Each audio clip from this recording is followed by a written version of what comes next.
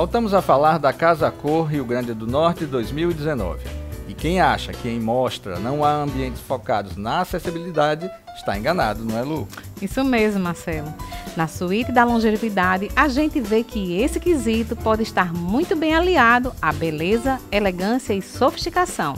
É o que a gente confere nesse projeto assinado pelo escritório Adapte Acessibilidade. Olá, eu sou Daniela Sá, estou aqui com Ceicia Marques, Mônica Dantas e Drica Nunes. Nós somos da Adapte Acessibilidade e estamos aqui na Casa Cor Rio Grande do Norte com a nossa suíte da longevidade. A suíte da longevidade, na sua composição, traz elementos em cores neutras, dispondo de mobiliário que segue um equilíbrio assimétrico em linhas retas no sentido diversificado de formas e texturas.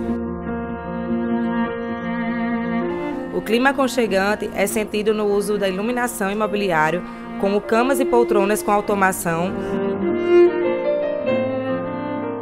guarda-roupas com estruturas e manuseios acessíveis, com acabamentos nobres e com texturas lançamentos no mercado moveleiro. O ambiente apresenta uma iluminação mais direcionada e elaborada para aplicação do forro de paredes e tetos em MDF, ressaltando a arte da marcenaria usinada. Saindo do quarto, é, em direção ao banheiro, temos essa rampa que é, colocamos todos os dispositivos de segurança, corrimão. E chegamos no banheiro, que o banheiro ele tem essa porta automatizada, que com um toque ela abre, dispensa o uso de, de fechaduras, de barras.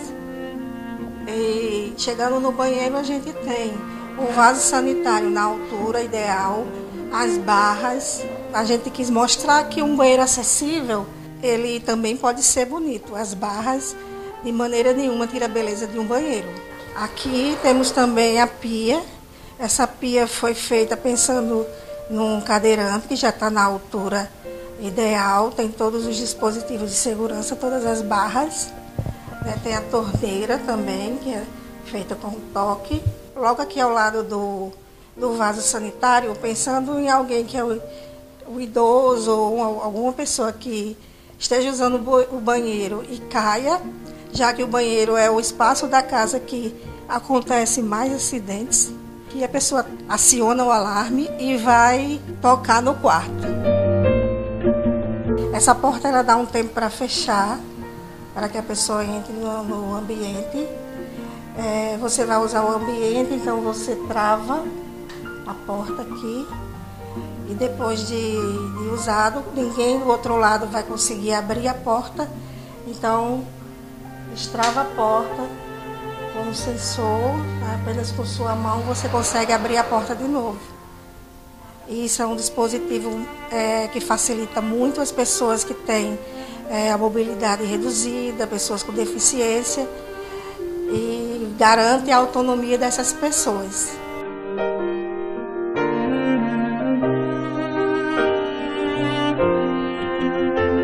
Já na área do banho, nós pensamos em todas as barras, o chuveiro com o banco articulado, o desviador da área do chuveiro também, um box com toda, todo o espaço para o giro da cadeira.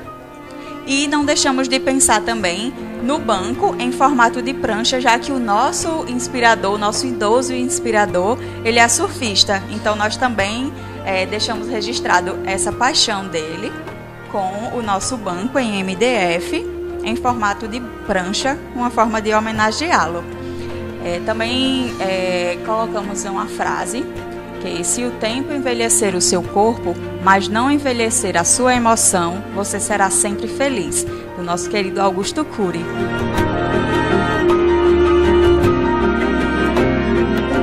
Comprovando que beleza e conforto andam juntos aos condicionantes de segurança e autonomia. Encontramos mobiliário presente a automatização, deixando tudo acessível ao seu cliente, independendo da sua condição sensorial e cognitiva estarem limitadas ou não, por razões diversas.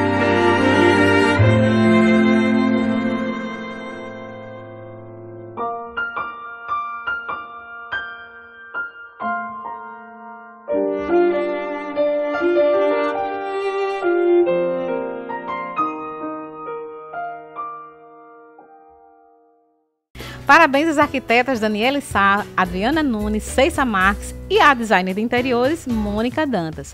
Muito bacana a gente ver uma questão tão importante sendo abordada dessa forma tão elegante e tão bonita. A gente lembra que esse ambiente contou com a parceria da Milênio Móveis e Objetos, da Crio Engenharia e do artista plástico Matheus Souto. O Casa Design faz agora outra pequena pausa.